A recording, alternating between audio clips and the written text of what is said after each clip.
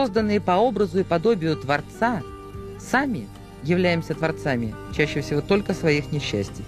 Конец 20 века оказался богатым на открытие феноменов человеческого сознания. Но никто из обладателей уникальных способностей не мог передать свой опыт другим. А оказывается, обучать взрослых творить чудеса могут даже дети, как эти две очаровательные Юли, полностью потерявшие зрение. Значит, Юлю Светленькую, Соколову, практически с рождения. То есть, поскольку папа врач, значит, она как родилась, через некоторое время уже было понятно, что там диабет. И мы ее знаем с рождения. Она вот у нас на руках, вот она ослепла. То есть все же было хорошо, то есть все было нормально, она видела, то есть у нее, ну, все было прекрасно. Но мы-то, конечно, знаем, что вот этот врожденный диабет, он приводит к тому, что постепенно люди теряют зрение. Вторичная глаукома – это глаз изнутри распирает, это боли, которые снять ничем не, ну, нельзя, потому что вот эти боли в глазу, они сильнее, чем вот зуб болит, чем холецистит или что-то другое. И при такой глаукоме мы глаз должны убирать. То есть не операцию делать какую-то там, чтобы нормализовать давление, а показано удаление этого глаза, чтобы спасти человека от боли, чтобы избавить его от этого. И вы это сделали? Значит, ну, понимаете, не я конкретно, поскольку я вот последняя инстанция, кому показывали, то есть показали одному доктору, пришли, сказали, что да, надо, надо убирать глаз. Пришел ее папа, и я категорически сказал, что убрать, причем завтра же убрать этот глаз, потому что операционный день. И через некоторое время второй, потому что сначала сказал, что давайте мы ей сразу два глаза уберем, чтобы один раз давать наркоз. А он не согласился. И она говорит, что нет, не надо, не надо. И вот это вот не надо, понимаете, вот я не знаю, откуда оно взялось, вот это не надо. Я говорю, ладно, значит, давайте завтра мы уберем один глаз. И сразу же на следующий день, все, операционный день, врачи убирают этот глаз. А через буквально тут два дня он узнает, что вот приехала группа Бронникова у нас а, в санаторий, и нельзя ли ее полечить, хотя она, в общем-то, уже большая, то есть не ребенок, а уже возраста за 20. Ну, мы говорим, конечно пусть папа пойдет. И они ее взяли.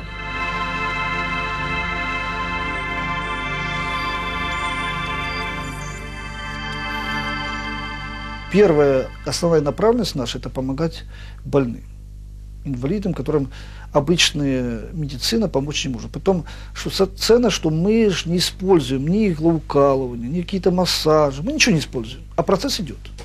Что процесс строится, повторяю, на обучении – Э, если человек, у которого отсутствуют органы зрения, отсутствуют, допустим, где не можно э, где ну, быстро как-то восстановить и прочее, то человек получает так называемый альтернативный способ видения, видеть мозгом.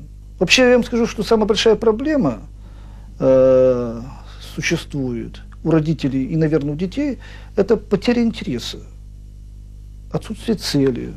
Когда ребенок э, плохо учится, плохо запоминает, без участ... не участвует нормально в школьном обучении, э, ну, никто с ним ничего поделать не может. То есть он какой-то вот, э, как бы, очень зажатый, какие-то комплексы. Заторможен. Да, заторможен, да.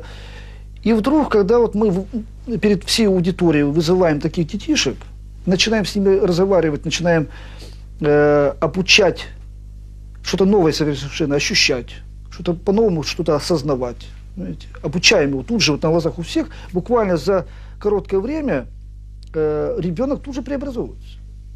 Преображается. Он, да, преображается, и э, возникает у него какая-то внутренняя уверенность. Он как бы, как улитка, выползает из внутреннего этого состояния и начинает вдруг, э, ну, я даже сказал бы, творить чудеса на глазах в глазах у тех же удивленных учителей, родителей. И более того, после вот таких упражнений с детьми, когда они начинают совершенно что-то новое осознавать, ощущать, э, они жаждут с нами общаться, жаждут учиться этому.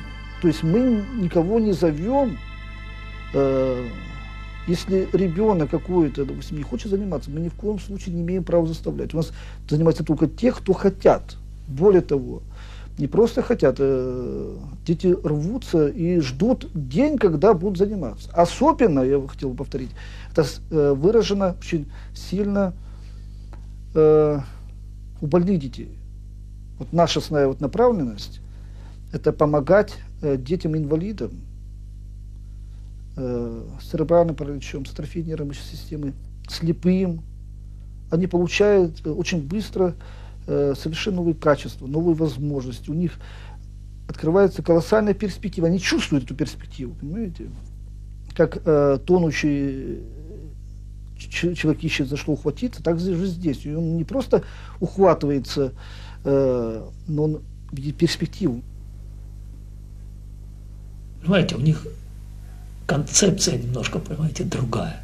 Потому что для меня это лечить, а у них другое. У них вот это лечение получается вроде как побочный эффект. Вот я это еще не могу понять, поскольку вот я врач уже долго, знаете, для меня главное, что делать, это лечить. Они говорят, нет, вы должны научить человека, чтобы он сам себя мог исправить, чтобы он мог, ну, конкретно лечить, чтобы он был, мог не допустить у себя болезни. И вот они ее, ну, с их точки зрения, они ее научили. Мы надели Юле Два повязку, мужчины. хотя при ее полной слепоте в этом не Один было необходимости. стоит, а другой наклонился. И у них разные рубахи по цвету. У того, который наклонился, рубаха красная у меня. Вот. А тут у меня четверостишье. Читать его? Да, Мгм. если можно.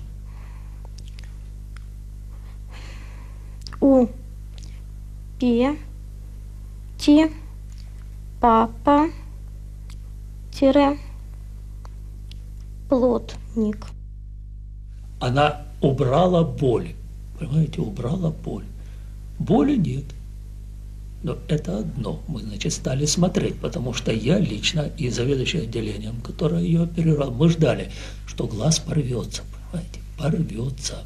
Потому что с одной стороны началась стафилома, с другой стафилома, и все. И они к нам ходили на занятия. Вот. Я, конечно, смотрел, как это все идет. Вот. Но, значит, тот вот опыт, который вот у меня там за 33 года, я понимал, что наступит состояние, когда глаз порвется, и мы вынуждены его убрать. Понимаете? То есть вот, вот Ну. этот вот ортодоксальная наша медицина, вот как меня научили, то есть вот я считаю, что это будет вот так. И оно так не случилось. Понимаете, это на моих глазах я видел, что вот, понимаете, глаз. А потом он начинает нормализоваться. Видите, у него уходят вот эти вот выпячивания, вот эти стафиломы, они уходят. Давление нормализуется, потому что я могу понять, что значит снять боль. Я могу сделать анестезию, и боли не будет. Но давление останется, действие анестетика пройдет, и опять это будет боль. А у нее давление начало падать. Знаете, давление. Она начала снижать себе давление. У нее сейчас давление нормальное, абсолютно нормальное давление. Знаете, вот в этом мне трудно поверить. Потому что такая глаукома, ну там изменение в углу передней камеры внутри, оно не может нормализоваться. Понимаете? не может быть. Не может, то есть этого быть не может. Но я своими руками смотрю, что давление у нее нормальное, что глаз мягкий. Я ее показываю другому доктору, говорю, посмотрите, где-то перфорация, он где-то порвался. Мы просто не видим. Ну, смотрим же со всех сторон, ну нет уже его, да, нету. То есть он не порвался, глаз нормальный, причем он хорошо выглядит, глаз. И вот у меня теперь это вот внутри вот так и есть. Ведь это же я сказал правый убрать. И вот теперь у нее правый глаз протез, а левый это ее глаз. Понимаете, причем он ну, ну почти нормальный глаз. Представьте, ребенок еще маленький, еще э, плохо ориентирован в жизни, и вдруг он получает какие-то новые ориентиры, новые осознания. То есть, возможно, как раз происходит помощь ребенку э, в осознании и нахождении самого себя. То есть, э, благодаря наших таких общений и занятий, э, занятий, которые строятся чисто на обучении, э, действительно начинает пробиваться личность. Осознавать себя скорее так, да? да, да, да. Вот через осознание себя э, проявляется личность. А в чем заключается принцип методики? Чему вы, собственно, обучаете? Очень простые упражнения, которые э, учат наш организм включать определенные плохо развитые функции. В обычных упражнениях в игровом моменте дети или взрослые приобретают совершенно, ну, как бы, ну, с одной стороны, несвойственные способности, например, чувствовать энергию в своих руках. Многие сейчас, в принципе, владеют этим, ощущают там какую-то энергию, угу. обращаются с ней.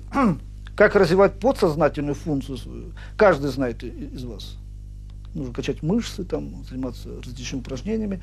Как развивать свое сознание, мало кто знает. А как развивать сверхсознательную функцию, почти никто не знает. Но, сталкиваясь с различными, общаясь с различными учеными, врачами, эти специалисты даже в области психи психи психиатрии даже не знают, что такое сверхсознательная функция к великому сожалению. Ну, в двух словах хотя бы. Как вы используете ее? Знаем мы о ней или не знаем, но а. мы часто пользуемся, допустим, мы про интуицию ничего не знаем, но мы используем ее в своей жизни. А как используете вы сверхсознательную функцию? Э, значит, во-первых, э, мне необходимо сказать, что за сверхсознательную функцию в нашем организме отвечает э, правое полушарие мозга. То есть правое полушарие мозга отвечает за нашу чувствительность, за органы чувств, за абстрактное восприятие. То есть это э, часть мозга, которая работает непосредственно с информацией. А переработка информации занимается левое полушарие мозга, то есть то, что отвечает за логическое мышление. Эти зрячие дети, обученные Бронниковым, одинаково свободно играют в шахматы с открытыми глазами и с завязанными. Если у обычного человека э, работает 3-4% нервных клеток коры головного мозга, э, то что можно сказать? Можно ли приблизительно хотя бы сказать, сколько включает Володя? Но Володя, конечно, включает, вот по, судя по этим данным, он включает ну, 80%, не, не меньше. Потому что мы видим, что здесь активация идет мощная просто. Мощная активация. И вот это вот состояние, которое наблюдается в процессе вот этой деятельности, в процессе ясновидения, это ребенок читает с закрытыми глазами э, текст. Когда кандидат прожил такой жизнью достаточно продолжительное время, чтобы остановился поток духовной энергии. Речь идет об управлении мозговыми процессами. Это самое ценное, что только есть у Бронникова. Что это не просто э, так вот спонтанно возникающий процесс, это процесс управляемый. Так выглядит томограмма мозга обычного человека – в процессе творчества. Красное – это активные зоны. Желтые – это беспорядочное мышление. Трудно дается творчество. Это томограмма ученика Бронникова. Вы видите, что почти все клетки мозга включены в творческий процесс. Они красного цвета. А это его же томограмма в состоянии покоя. Желтый фон отсутствует, то есть нет беспорядочного мышления – он контролирует свои мысли и слышит голос безмолвия.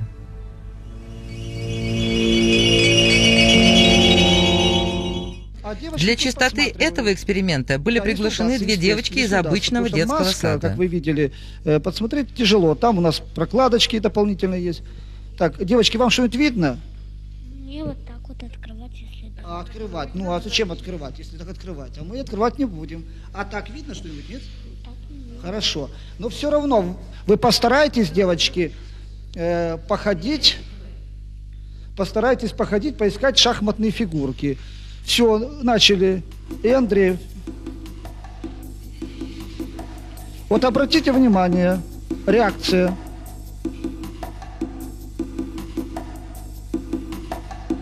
Обратите внимание, что происходит.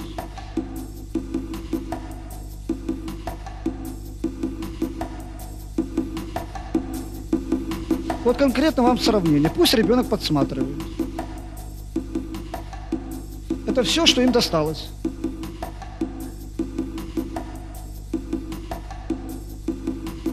Видите, он обходит их и так далее.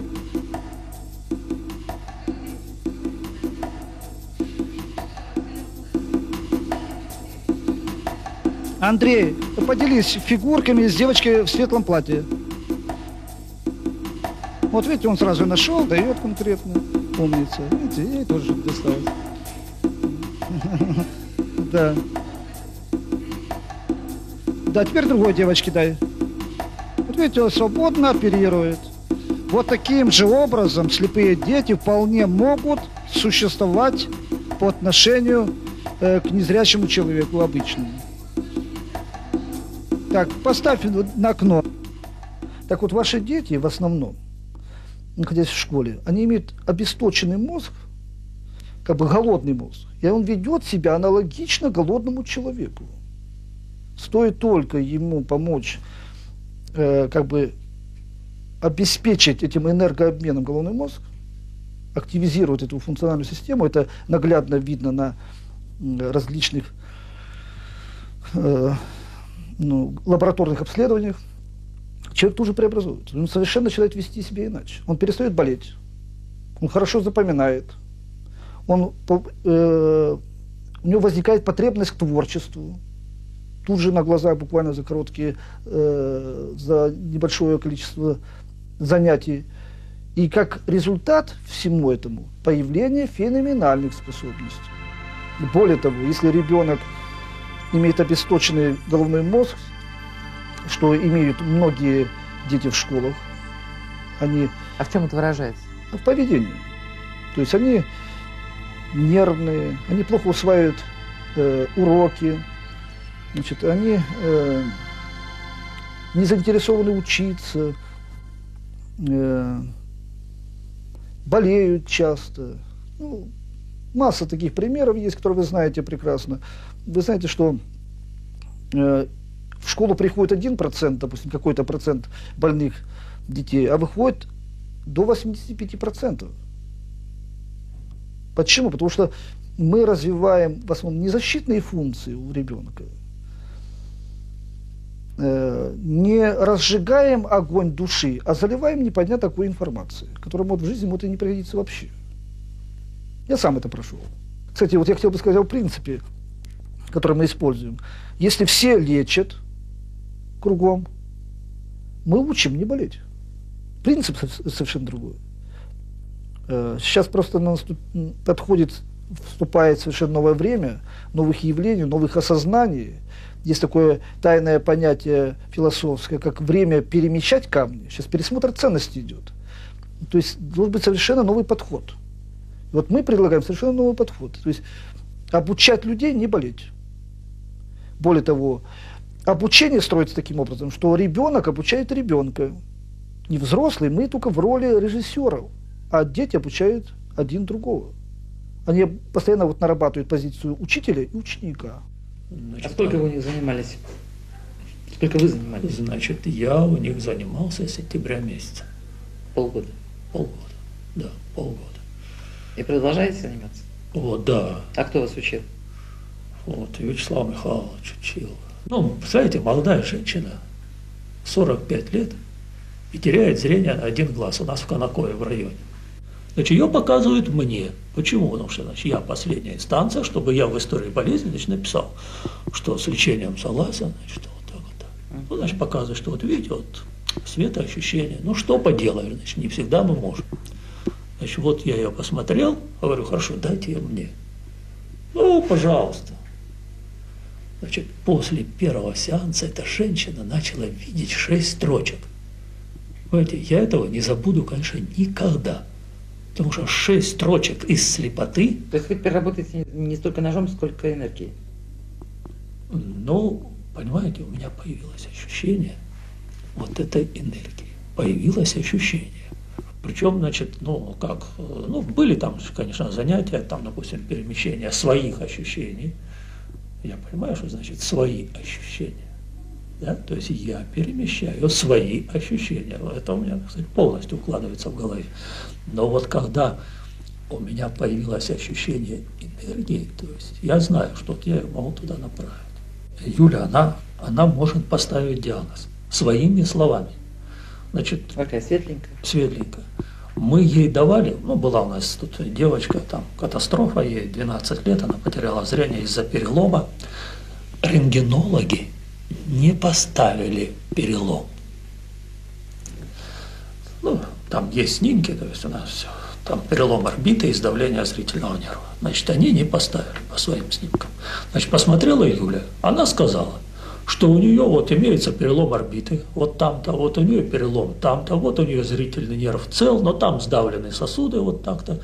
То есть все то, что мы видим. А мы потом сделали компьютер, ну, есть еще, знаете, компьютерная томография, где там через миллиметр снимают.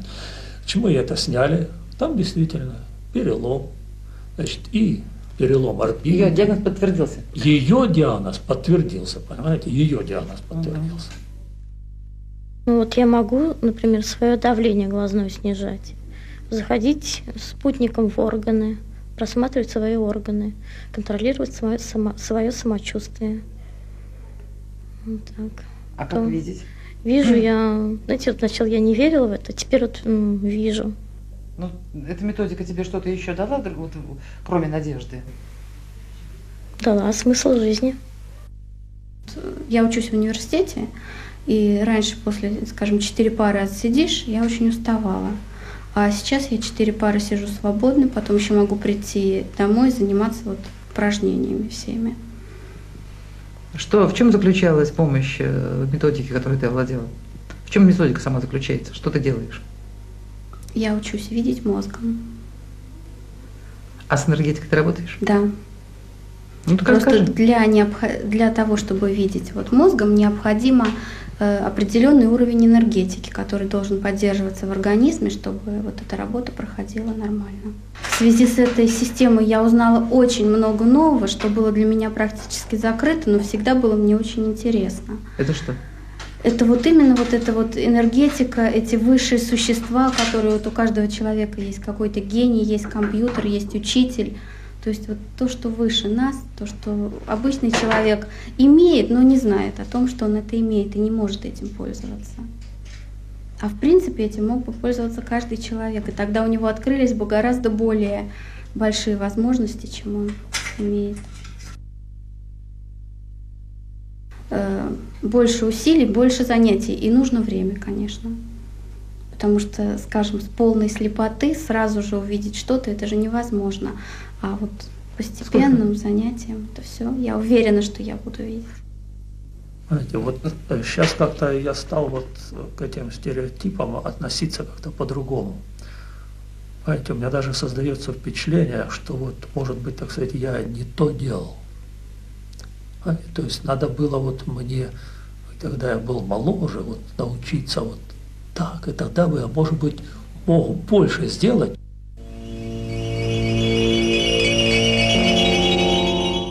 А у человека существует ряд определенных центров в организме, которые, развивая, человек приобретает колоссальные способности.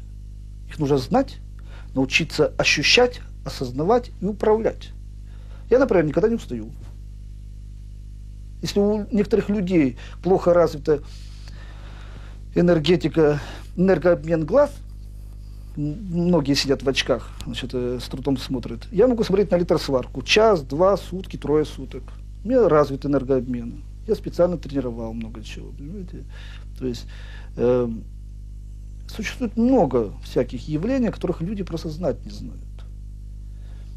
К великому сожалению. Химик, он э, в лаборатории занимался, проводил всякие эксперименты, приходил домой, включал это свое видение и продолжал вести эксперименты дальше вот именно таким вот образом. И даже у него эффект лабораторной такой деятельности без лаборатории был гораздо лучше, чем в лаборатории. Более того, он владел такой способностью, что он он там жил на каком-то острове, газеты приходили только через неделю, а тогда еще вот не было телевидения и прочее, не было связи. И у него близкие его всегда, си- сидя утром за столом, за- завтракали, спрашивали, какие новости в мире. И он благодаря этой способности говорил, что там произошли такие ну, крушения, там какие-то события. А потом через неделю они узнавали, что действительно это все происходило. То есть, понимаете, Достоверный факт. да, это достоверный Жил факт. человек. Да, более того, я бы сейчас так сказал, что естественным отбором сейчас среди людей э, является информация, которая влияет на человека, и от человека зависит, способен он воспринять новую информацию или не способен. Сейчас совершенно новое время, новые идут явления. И человеку важно уметь быстро пересматривать ценности. При этом шире смотреть и осознавать те явления, которые происходят. Потому что э, в среде Маугли порождается Маугли. В обычной среде обычный человек. А в суперсреде супер. Суперчеловек. Вспомните лицей Пушкина. Какие там уникальные вышли люди. Не станут ли ваши э, дети, питомцы, так сказать, да, первыми обучившиеся, не станут ли они этакими суперменами, которые смогут использовать э, свои уникальные способности, видеть сквозь стену, видеть затылком, э, то есть супер возможности для того, чтобы использовать это в личных корыстных целях или для кого-то? Во зло. Значит, сейчас я объясню. Дело в том, что э, то, что мы даем обучение, пока мы даем только три ступени, это умение развить свою энергетику, развить внутреннее видение, а затем развить видение и другие качества уже во внешнем пространстве, альтернативные способы. Это э, абсолютно безопасные способности, и человек овладевает только тем, чему мы научим. То есть у нас система э, значит, четкого тиражирования способностей. И поэтому это совершенно безопасно. Если мы человека не научили видеть сквозь стену, он никогда не научится видеть сквозь стену. Э, Более того, Но это э, такая же перспектива у вас есть? перспектива есть Третья, четвертая ступень обучения как раз и включает в себя именно это. Да, я вот сейчас скажу сейчас. Четвертая ступень – это развитие уже уникальных, колоссальных способностей, которые даже фантасты вряд ли способны представить. Но дальнейшие обучения идут только в коллективе, при котором один человек отвечает за жизнь, развитие и здоровье другого человека. То есть в такой обстановке развития у нас лидером является среда, а не человек. Сегодня вы познакомились с возможностями, которые дает человеку только первая ступень метода. Этот опыт, раскрытие новых возможностей, до сих пор был доступен только посвященным. Мы живем в уникальное время формирования нового человечества, и перед каждым из нас открываются невиданные перспективы, но они потребуют личной устремленности и большого труда.